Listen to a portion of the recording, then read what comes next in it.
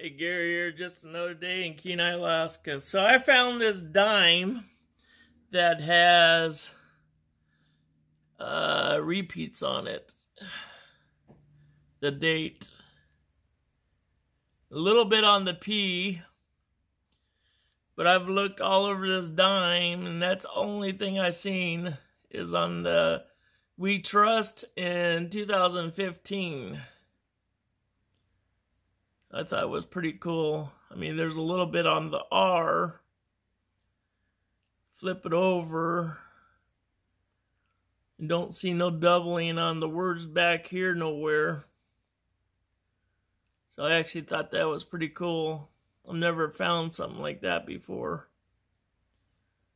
I mean, there's a little doubling on the S, but not bad. But on this part, I thought that was cool. to find the doubling.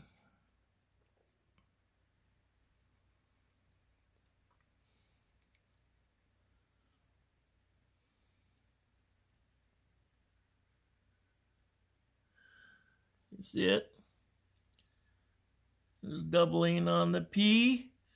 2015. God we in we trust.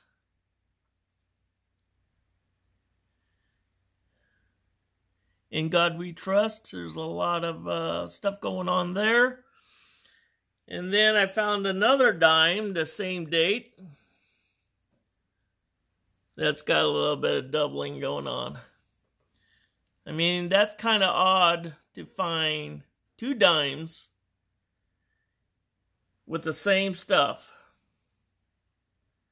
Two. It was just hard to believe that I found two of these at the same time.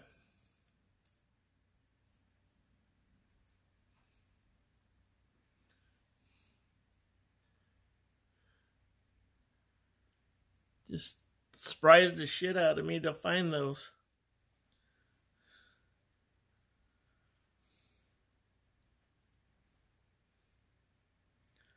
Two of them. Pretty cool leave your comments and questions down below and they're for sale so I don't need them for anything. And there's a little bit of wording on the side there too a little bit. Right there. I didn't notice that before. But that is pretty cool.